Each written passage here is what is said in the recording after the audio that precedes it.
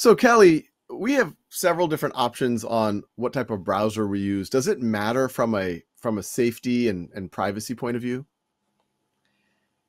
Yeah, there, there are a couple factors that you might want to think about that make a browser potentially safer. Uh, so one thing that's important is how frequently the browser updates and ideally automatically updates. So uh, attackers are constantly looking for gaps and holes where they can press their advantage.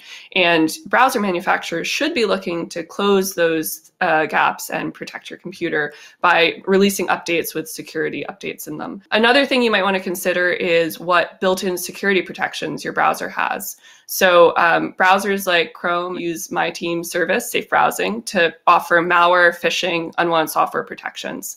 And so that's basically your first line of defense. We'll be looking out for you to see if there is a dangerous uh, site and warn you about it. So you have that before it even touches your computer. Um, there are also other things like it, Chrome has protections against dangerous extensions that, that uh, are offered as well as things like a feature that looks for passwords that might have been leaked so you know that you can update your password. So thinking about what does your browser offer in terms of built-in security protections can be uh, an important role as well. Super useful.